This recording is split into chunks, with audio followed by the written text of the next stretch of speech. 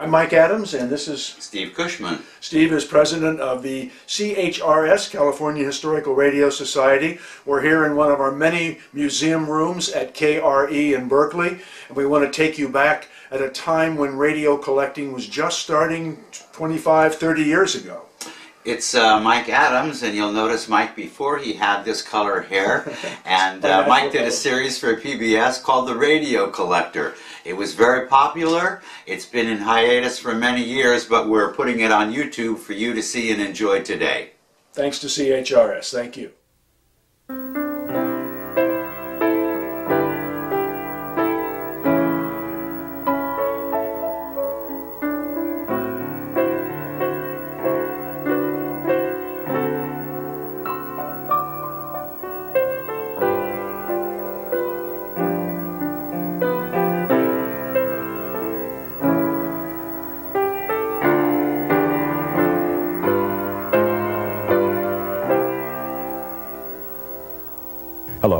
My name is Mike Adams, and I collect and restore old radios, radios from the 1920s, 1930s, and 1940s.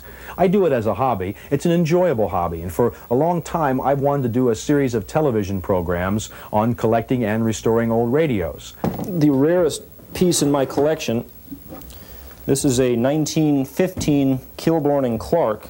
First, meet the people who collect old radios. Over the next five weeks, you'll watch dozens of collectors show hundreds of radios. Well, these are in great demand by collectors. They're called the breadboard, the uh, Atwater Kent breadboard.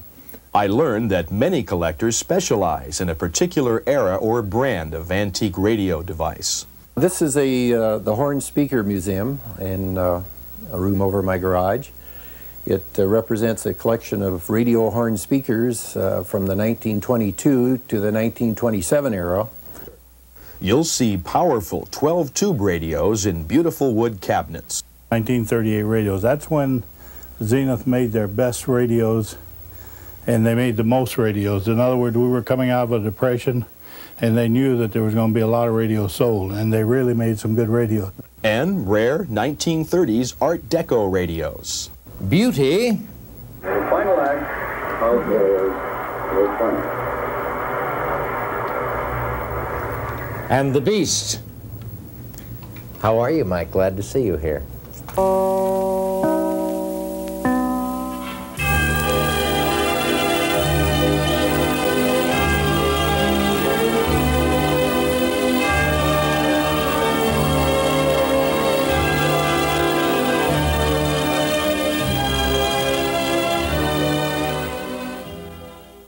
Later in this series, a stop at the Pacific Pioneer Broadcasters for a behind the scenes look at the golden age of radio. You'll spend time at a retail store that sells old radios and meet Jack Dempsey, the old radio collector. And I'll take you to a swap meet with the Southern California Antique Radio Society and talk with some longtime collectors.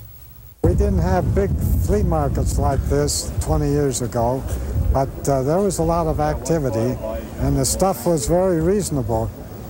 You could buy radios for $5 and you go to the dump and get them for 50 cents, but those days are gone now.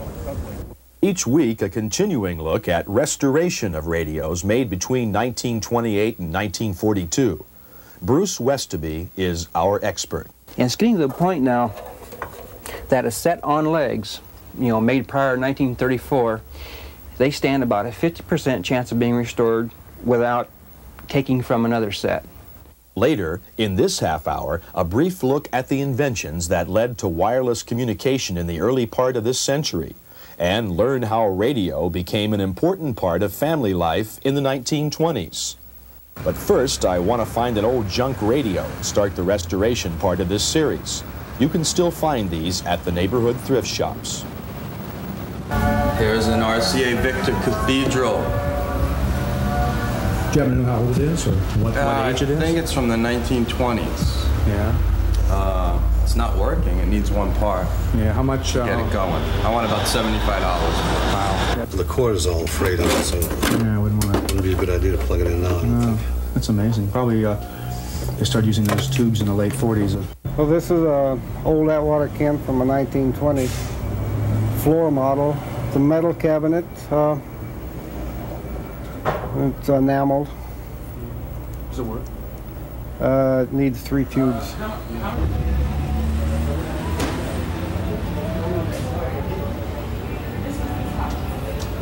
It looks Yeah. like a uh, 1949 Oldsmobile. no, I think it's Studebaker. Studebaker, yeah. It's nice, and it's from the 40s because you can tell by the type of tubes it uses. Does it work? I really have never plugged Yeah. this one in. I don't know. I don't have any idea. Yeah. How how much would you sell it for? I gotta get 25 for that. Yeah. Hmm. Really- really It not- probably wor- yeah, it probably works. Although I wanted something I could do woodwork on and something I could. Do you have something that's totally beat up, like an old console that needs woodwork, that doesn't work, that has? Now, how about this one back here then? Can we dig this out here? Well, let's take it outside. We can see it in the light. It's definitely a candidate for restoration, um, but it's all here though. That's what I like about it. It's all here, and uh, we'll we'll consider this to be the before, the before shot. cool. Yeah, a is classic. Uh, yeah, we're going to put it in here. It's a classic uh, Silvertone. Over the next few weeks, uh, you can follow the restoration of this 1930 Sears radio that I found uh, in a Hollywood junk shop. I will show you throughout the program the replacement of uh, some of these parts, and well, these are really in horrible shape. And by the end of the program, we will replace a lot of these capacitors and resistors, and maybe a couple of tubes, and we'll have a working radio. But let us, first of all, take our cabinet, and you saw what it looked like when we found it there at the junk store. We'll, we'll take our cabinet to Bruce Westaby, a radio restoration expert. stripping and then the woodwork comes first and then after that uh, the set has to be sanded every square inch or steel wool whatever whatever however the set's made and then the wood has to be prepared and then the hand blacking done and then it gets spray tinted and then the clear put on part of the framework here that I can glue and and put new uh, what they call cross banding in here and uh, and the veneer on it. This all had to come off. This, but this is wood. It's not. Uh, oh, some of the things were like a pressed, a pressed Syroco. It was called. It Oh, yeah, like plaster or... very close. Yeah. And you, you have to take those off real careful, or, they shatter. And uh, as far as the face goes, that's no problem. I brought a couple little ones uh, so you can see how it looks like. Uh, as far as the top goes, I can see the cross banding lifting al along the edge. That's no problem. I take a hypodermic needle with a, some glue and glue it along in there, with a, or a butter knife, and clamp it down. And it needs to be re-veneered. Um, I can use strips of old veneer, or I can buy veneer that you iron on. And the only thing is with iron-on veneer is that uh, uh, you just have to be real careful and make sure it's all nice and warm so that it won't bubble. Um, but generally works real well. This is black walnut, this is black walnut, and this is like uh, a regular walnut that you see quite a bit in most of the sets. And on the sides of the set, down towards the bottom, this one's not bad at all, but a lot of times they have great big chunks out of them uh, where people have picked them up and then broken the chunks out. What's one thing I notice about, about restored sets is that the, the grill cloth always looks so new. It doesn't have that yellowed, uh, cigarette smoked on kind of appearance that you expect. Uh, I don't know, how do you, what, what do you use for grill cloth? Because you can't buy it anymore like this, can you? This is No, no. Um, I use drapery material, and I'll look around until I find something that's suitable. And if it's too gold or too white, I take and tint it with a uh, with a spray stain, Oh, okay. and that mutes it down a Oh, little bit and ma- makes it look really nice. Because uh, nothing's worse than to get something all put together than have a grill cloth in there that with big chrome bars in it or something, you know. Our weekly restoration project is a late 20s electric radio in a wood cabinet, common from 1927 to the present. But radio doesn't start here. It begins 50 years earlier. It's the late 1800s, a world without radio, television, or talking pictures. Early electrical experimenters are trying to understand the sending and receiving of radio waves through space and without wires. Author and historian Morgan McMahon begins our story. goes way back to 1865 to a gentleman named James Clerk Maxwell. He developed a theory of electromagnetic waves that predicted that one could propagate radio waves through space. His work laid a little dormant until 1887 when a gentleman named Heinrich Hertz first decided to test the theory. He sent electromagnetic waves, that is radio waves, across a room from a crude spark gap to a circle of wire that indeed had a small spark appear.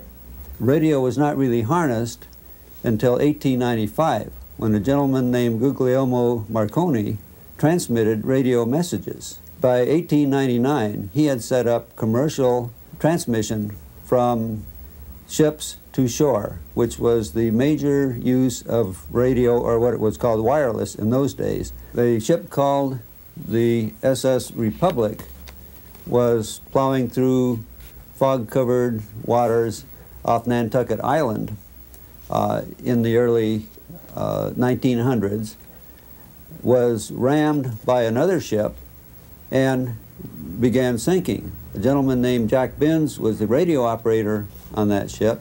He sent out what was called a CQD, a distress signal, signal which then was picked up by people onshore who dispatched ships to pick up the survivors. Only six people were lost in that accident, and the world applauded the maturing of radio. Because of the early experimenters, the world was slowly learning to use wireless. In 1900, the primary commercial user of this new communications medium was the shipping industry. But early wireless was not radio broadcasting as we know it. It wasn't even called radio. Furthermore, it wasn't even the transmission of the human voice. That comes years later. Instead, wireless was the sending of Morse code dots and dashes, caused by turning a spark gap on and off with a telegraph key. My father was a pioneer in, uh, in radio. Uh, he was demonstrating wireless at the Nebraska State Fair in 1906. He had a, a spark transmitter and uh, he used a spark coil and the receiver was a glass tube in which were nickel and iron filings and as a radio signal would come through, the uh, filings would cohere, as they called it, and uh, change the resistance of the circuit and operate a relay and ring a bell. So that when you uh, pushed a button on one side of the room and sent a signal, and uh, the bell rang on the other side of the room, you had actually been broadcasting by radio. In those days, they called it wireless. You can see that little spark there. This is an early transmitter. This was built in about 1915, um, that era.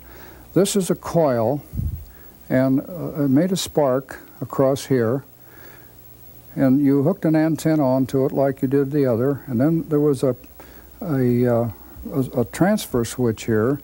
You would transmit with this switch in the one position and throw the switch over to receive in the other. And uh, this part over here is the receiver. It consists of a coil of wire with two sliders on it. This is a fixed condenser, and then here is the crystal detector. This little piece of galena could be purchased at the local, local dime store for between 15 cents and maybe 25 cents if you wanted to get a real big piece of galena. And uh, you would wind a coil and tune the coil to the frequency of a broadcast station that was near you and using headphones uh, and a, a, long wire antenna. Usually you had to have 100 feet of uh, wire outside and this would be connected to a water pipe ground. And then uh, you would sit down on a quiet evening and uh, turn this tap which would uh, uh, turn in more or less number of turns of wire. And then you would start to fiddle around with this little wire which was called a cat whisker and find a place on the galena crystal where you could hear audio. To hear any radio signal, you need a detector, a device that changes high-frequency radio waves into audio. But how does the detector know which station the listener wants? As the number of transmitters multiplied, better methods of separating stations by frequency were needed. This is called tuning. There were a great many experimenters in the period, the early teens, And um, the most popular device in that time was a loose coupler. Stations which might be received with a loose coupler such as this were um, damp spark transmissions, so they had a wide bandwidth and um, exact tuning wasn't very important because the um, uh, selectivity of the circuit didn't have to be extremely sharp to um, receive the wideband signal, such as a damp spark. The um, detectors used with these loose couplers, an experimenter might use a crystal detector, or he might have used a vacuum tube detector if he had the money to afford one. Throughout the pre-World War I period, advances in coil winding meant better coils, which improved both the sensitivity and selectivity of radio. World War I research was um, very active, and uh, sets quickly became more sophisticated and um, actually a lot more electrically mechanically complex. Still, radio as we know it had not yet happened. Yes, wireless had improved and was now used as a serious communication tool. Certainly, the sending and receiving of messages had come a long way since the turn of the century. Still, wireless communication was mostly spark or continuous wave sending of dots and dashes. And more people were sending and receiving messages over greater distances with greater reliability. Meanwhile, throughout the teens, a series of technical advances would finally allow quality transmission of voice and music. The real breakthrough that would put a radio in every home was right around the corner. The story of radio really hinges on the vacuum tube. First conceived by Thomas Edison, who found that one could emit electrons from a heated filament. A gentleman named J. Ambrose Fleming later developed what is called the vacuum tube diode. Uh, after this, of course, DeForest was really the one with the impact who came up with a tube called a triode in which you could make small signals big. This was the start of the real radio revolution. Slowly, in part due to its high cost, the vacuum tube replaced the crystal as a detector and made possible the amplification of earphone level signals to loudspeaker volumes. The tube made high quality voice transmission a reality. While experimenters labored to improve the tube, business people and their lawyers were battling out ownership issues. As late as 1921, the RCA tubes UV200 and 201 were the only legal tubes sold. These samples by DeForest, Sodion, Daven, Western Electric, and Arcturus were manufactured throughout the 1920s. The vacuum tube really brought voice transmission to the quality that one could use in broadcast. A gentleman named Dr. Frank Conrad in 1919 decided to set up a small transmitter in Pittsburgh. He was the start of true broadcasting, although people like Fessenden uh, actually broadcast earlier. The problem was there was no audience, no audience, no broadcast really. Radio arrives. With KDKA in Pittsburgh, the broadcasting era officially begins, and almost overnight, everyone will want to listen to radio for information and entertainment. When I was a young young kid, uh, uh, I used to build radios for the neighbors, and uh, this was way back in the uh, early 20s when radios first started. I used to build uh, one-tube radios and two and three-tube radios and uh, crystal sets, and this was the common thing that was done in the early, early days of of radio. Uh, people would make their own or they'd have somebody else make them for them.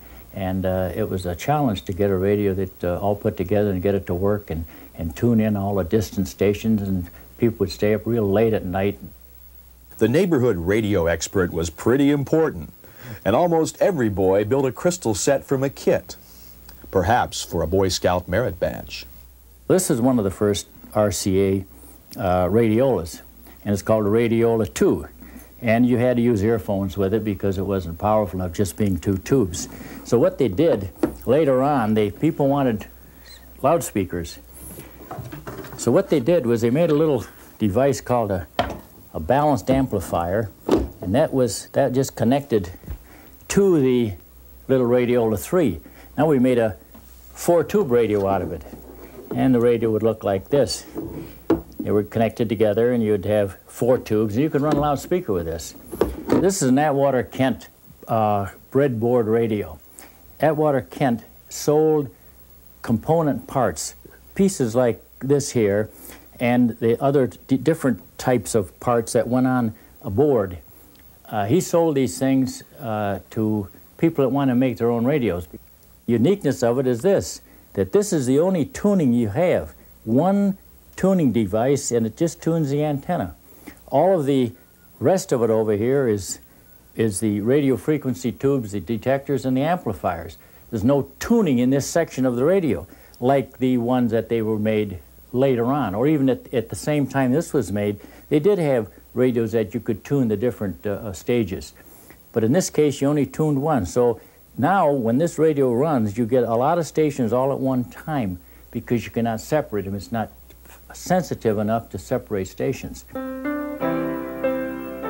The typical household would have at least one radio, typically a, a three dialer radio, which, by the way, was a very difficult thing to tune if you were far away from stations. Typically, the early radios required somebody who was very adept, uh, had almost a, a, a great deal of intuition, also had the guts to turn the thing on because very often if you turn the filament voltage up a little too high, you would pop the tubes by the way, a set of tubes for a, a radio would cost almost as much as, as half a week's labor would, would buy. As the tubes got better, then could take these three dials and just hitch the three dials together so that you would turn one knob and all three tuners inside the set would, would move and uh, that then was, was the beginning of the simple sets. So we have really two basic kinds of sets that people use. The TRF set, which uh, was obsoleted immediately as RCA let other people build the super heterodyne sets. I remember as a youngster, uh, our first radio was a battery uh, set, had a uh, set of headphones, and we would, my dad would listen, and, and we kids would, he would turn one, one headphone out this way, and then our, our kids, where we kids would, would stand around and listen to that one headphone while he heard the program in the other headphone. Yeah, it, it was a real ball, a great thing for pulling families together because you just all had all your heads put together in one, in one spot. Then the, uh, the Baldwin headphone came out. Uh, was was a different construction than the uh, uh, than the other type headset, and it was actually louder. It uh, it had a permanent magnet in here, and the, the uh, vibrations caused this little diaphragm to move back and forth, and that was attached to this diaphragm here. And it was so loud that you could uh, you could put this headphone in a uh, a bowl and put it on the dining room table, and the whole family could sit around the table and listen to the radio. Uh, they were getting into the point, place where people didn't want to sit around with earphones. They wanted to listen to things with loudspeakers. So they took this two-tube radio and they added another tube to it to make it so it was you could run, run a loudspeaker, and it's an amplifier. And they put it in the door, in the cover, in the back, where you, generally the batteries went in here. But to have it so they could run a speaker, they went ahead and added the third tube and put it in the door. And it has the same wiring. You can see the spaghetti here and up in here, which is identical to over here. And you notice it's got a GE uh, thing here and a GE transformer.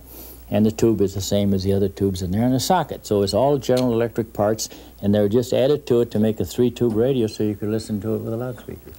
After Conrad's transmissions and KDKA, there was an explosion in the radio broadcast field it was very difficult for the radio listeners because the radios operated from batteries. Before everybody had a battery charger, you had to take your storage battery, down to the local garage and, and have it charged. And most people had two storage batteries. They had one that they would use, and then they had the other one that they would be down at the garage being charged. So that was a, a weekly chore for somebody to take the battery down and get it charged so you could run the radio the next week. These batteries, incidentally, are just a little outdated. They have a date of May 1926. In 1927, the true breakthrough occurred, and that was the development and production of alternating current radios that could plug right into the wall of the house. This really sprang radio loose.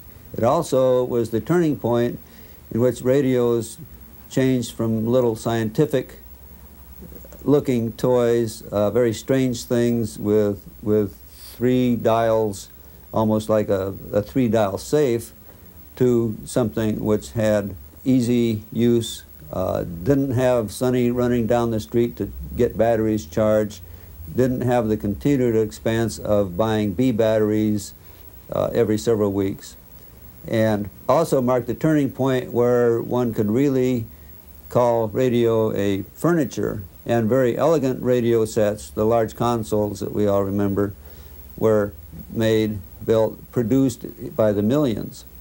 Here's what happened to the radio between 1925 and 1927. From storage battery to household electric power, from three dial tuning to single dial, earphones to loudspeakers.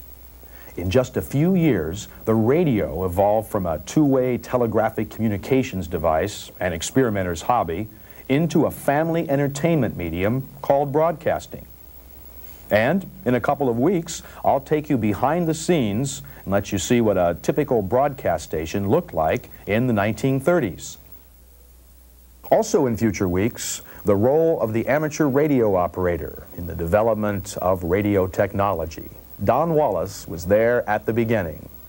As a boy in high school, I was interested in radio, of course, 1910, and I became a high school student 1912, and uh, of course the radio laws came in, and uh, neighbor Ham told me I ought to get a license, so I did.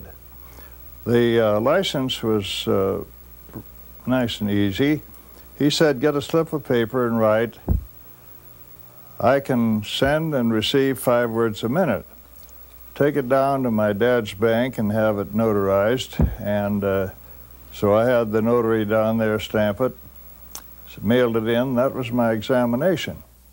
Next week, I'll continue restoration on our $35 thrift shop radio, a 1929 Silvertone. Bruce Westoby will show us how he restores the chassis, the electronics of AC radios, and you'll meet three collectors of battery-era radio devices. That's the late teens to the late 1920s. All that and more next week on The Radio Collector.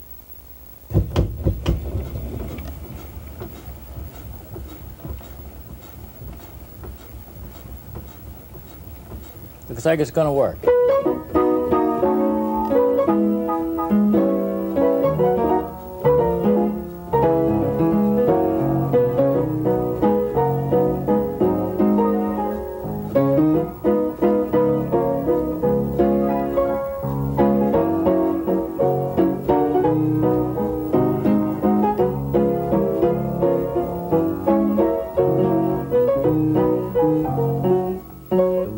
These things around. This was the entertainment of, that people used way back before they had uh, widespread radios. This was the family entertainment.